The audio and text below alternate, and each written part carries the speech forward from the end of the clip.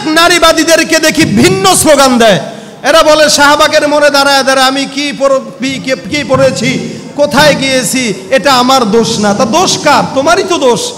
এটা ছিল উচিত যে ধর্ষণের জন্য ফাঁসির দাবি করা লাগবে কেন? আইনই থাকবে এটা। ধর্ষণ করবি তো মরবি। দেশে ধর্ষণের কোনো আইন নাই, এ দেশে ইসলামকে গালি দেওয়ার কোনো আইন নাই। এ দেশে আইন আছে, কখন কে আমার নেতার বিরুদ্ধে কথা বলল? কথা বললেই ধর মার জেলখানায় ঢুকা। এটা ছিল উচিত যে ধর্ষণের জন্য ফাঁসির দাবি করা লাগবে কেন? আইনই থাকবে এটা, ধর্ষণ করবি তো মরবি। এটা আইনই থাকা দরকার ছিল। সেই জিনিস নিয়ে এক সপ্তাহ জগৎ বাংলাদেশ গরম। কেন? এই সমস্ত পাতি নেতা হাপ নেতা যেগুলো সমাজের, বাংলাদেশকে সমাজের কাছে লজ্জিত করে, এদেরকে সাথে সাথে ক্রস ফায়ার করা দরকার ছিল। আজকে আমার বাসায় আমার বিবি নিরাপদ না, আমার ঘরে আমার মা নিরাপদ না, আমার সন্তান নিরাপদ না।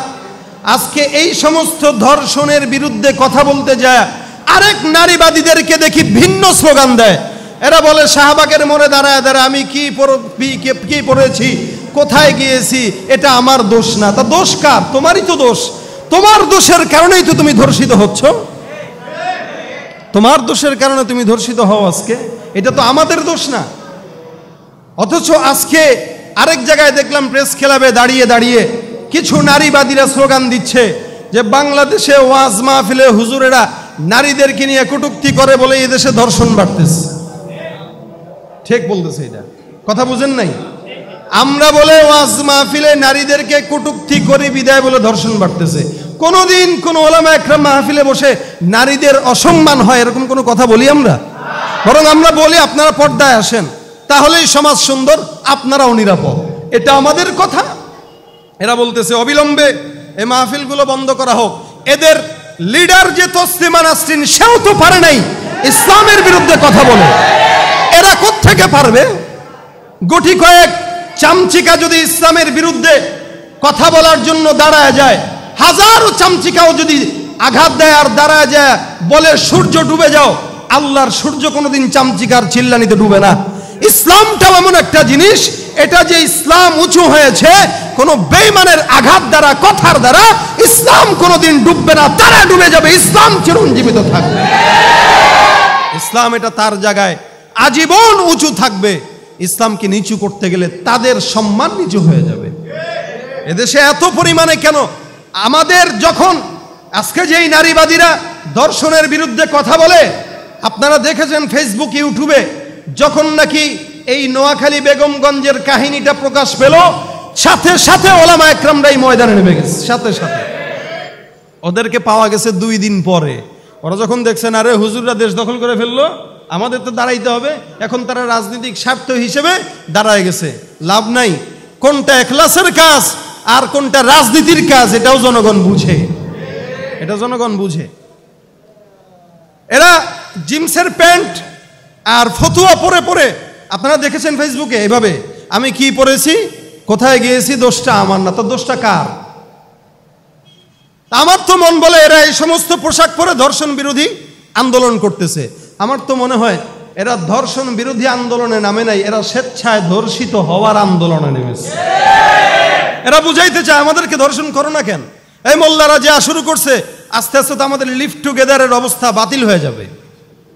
এদেশে ধর্ষণ করলেই দোষ, কিন্তু আঠারো বিশ বছর লাগে না, বারো তেরো বছরের পোলাপানরা লিফট টুগেদার করে, এটার কোনো দোষ নাই। কয়টা বয়সের দোষ। বয়সের পোলাপান করতেই পারে, না? তা যেই ছেলে বারো তেরো বছর বয়সে লিফট টুগেদার বুঝে, তারা বিয়ে দেন না কেন? কবে না বয়স হয় নাই? ও বিয়ার বয়স লাগে। লিফট টুগেদারের কোনো বয়স লাগে না? সমাজ তো এই কারণেই ধ্বংস। আজকে বিবাহ কঠিন বলেই আমাদের জেনা বাড়তেছে, ধর্ষণ বাড়তেছে। বিবাহটা সহজ হইলে জেনাও কমতো, ধর্ষণও কমে যাইত তাহলে এই সমস্ত নারীবাদীরা কি বুঝাইতে চায়? তারা কি বুঝাইতে চায়? বলবে হ্যাঁ তাহলে ধর্ষণ তো ওখানে হয়েছে যিনি এত পর্দা করে বর্তা বোরকাশীল, পর্দা করে। তা সে ধর্ষণ হইল কেন? তার মানে বোঝা গেল পোশাকই ধর্ষণের কারণ না।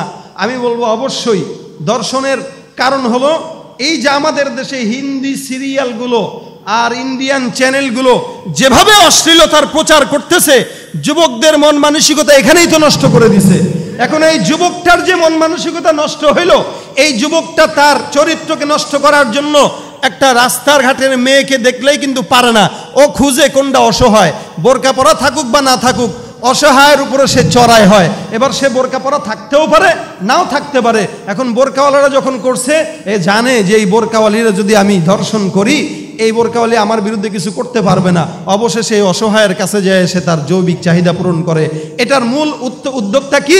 ওই যে হিন্দি সিরিয়ালগুলো, যারা আমাদের যুবকদেরকে মেন্টালি ভাবে তাদের অবস্থা দুর্বল করে তাদেরকে যৌনতা শিক্ষা দিয়েছে। এরাই হলো এটার আসল কারণ।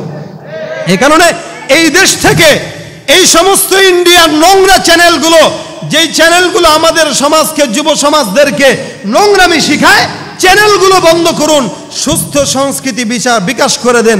দেখবেন যুবকদের মানসিকতা ফ্রেশ হয়ে যাবে, দর্শন বন্ধ হয়ে যাবে। তাহলে আমাদের দেশে মানুষ সৌন্দর্যের পিছনে পয়রা মহাব্বতে তারপরে জেনা করে। এটা শুধু এখানে না, সুন্দরের পাগল সবাই। আল্লাহ পাক রব্বুল আলমিন বলে আমি নিজেও সুন্দর, আল্লাহু ইহিব্বুল ইহিব্বুল জামাল, আল্লাহু জামাল ইহিব্বুল জামাল। আল্লাহ পাক নিজেও সুন্দর, আল্লাহ পছন্দও করে সুন্দর। তাহলে সৌন্দর্যের কারণে মহাব্বত হয়। আমাদের দেশে এই সমস্ত গুণ যেই মানুষের আছে, এর চাইতে বেশি গুণ আমার আল্লাহর আছে। সুন্দরের উপরে সুন্দর আল্লাহ, আসমান সুন্দর, জমিন সুন্দর, সব সুন্দর, দুনিয়া সুন্দর, সব সুন্দর। তার চাইতেও বেশি সুন্দর কে? দুনিয়া সুন্দর, মানুষ সুন্দর, আসমান সুন্দর, জমিন সুন্দর, সুন্দরে সুন্দরে পাল্লা। জানি না কত সুন্দর তুমি আল্লাহ। জানি না কত সুন্দর তুমি আল্লাহ। আল্লাহ তাহলে আমার যদি প্রেম করতে হয়, মালিকের সঙ্গে চলবে। কার সঙ্গে? মালিকের। আল্লাহর সাথে প্রেম। কয়েক কারণেই মানুষ মানুষকে মহাব্বত করে।